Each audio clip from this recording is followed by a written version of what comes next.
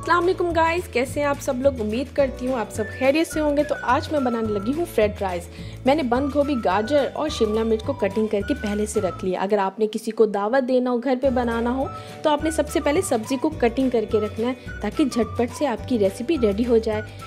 तो ये जो आज मैं रेसिपी बता रही हूँ रेस्टोरेंट की रेसिपी बता रही हूँ आपको। और रेस्टोरेंट का खाना आपके घर पे। हाँ जी, आपने जल्दी से मेरी रेसिपी को फॉलो करना है और झटपट से अपने घर पे फ्राइड राइस रेडी करना है। ये बहुत ही मज़ेदार रेसिपी है। मैंने एक कप ऑयल लिया, उसमें तीन से चार मैंने हरी मिर्च को पीस के वो डाला है। मैंने बारीक बारीक कटिंग की आप पीस भी सकते हैं, आपके पास दोनों ऑप्शन हैं। तो आपने एक से दो मिनट इसे डालना है ताकि इसका कच्चापन दूर हो जाए। चम्मच हिलाने के बाद आपने इसमें पानी ऐड करना है। ये मैं आपको हाफ़ के जी राइस की रेसिपी बता रही हूँ। अगर आपने ज़्यादा क्वांटिटी रखनी है तो आपने हर चीज़ की क्वांटिटी को डबल करते जाना है।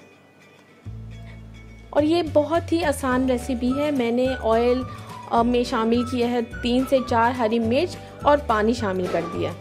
अगर दो कप राइस हैं तो अपने चार कप पानी ऐड करना है। ये है इसका, आपने ये भूनना नहीं है। मैंने एक चम्मच काली मिर्च शामिल की है इसमें। और नमक। नमक आप अपने अपने हिसाब से डालिएगा, जैसे राइस का होता है वैसे ही होगा। लेकिन राइस से थोड़ा सा कम, ये इसलिए मैं कहूँगी क्योंकि फिर आपने सब्ज़ी में भी डालना होगा। तो मैंने दो कप अगर राइस लिए हैं तो मैं दो चम्मच नमक के डाली हूँ। नमक आप अपने हिसाब से डालिएगा। मैंने इसमें एक चम्मच सोया सॉस डाला है।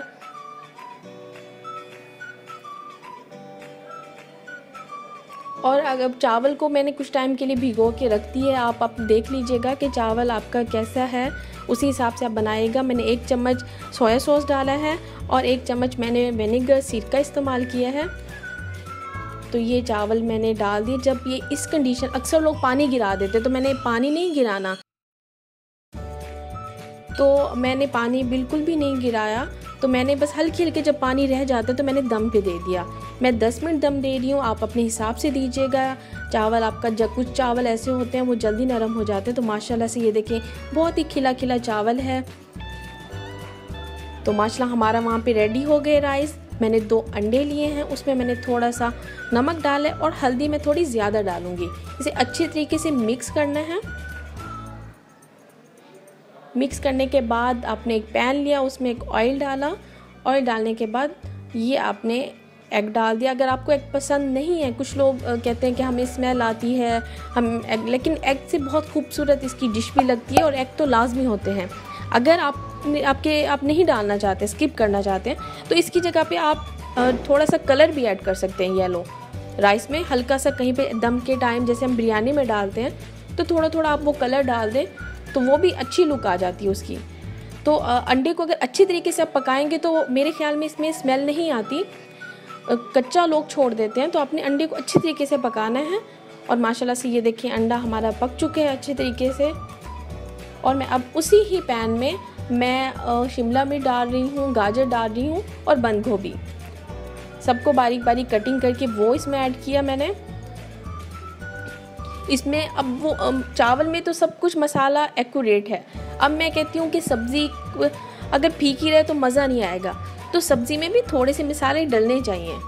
तो मैंने थोड़ी सी काली मिर्च डाली है, थोड़ी सी नमक डाला ये आपने लाजमी डालना है थोड़ा थोड़ा और मैंने सोया सॉस डाला है दो चम्मच भर के मैंने डाला है ताकि सब्ज़ी अगर आपके मुँह में है तो अच्छा सा फ्लेवर है एक जैसे आपका वो राइस का टेस्ट है, वरना कहीं पे नमक ज़्यादा, कहीं पे फीकी तो ये मज़ा नहीं आएगा तो चिली सॉस मैं इसमें ऐड कर रही हूँ।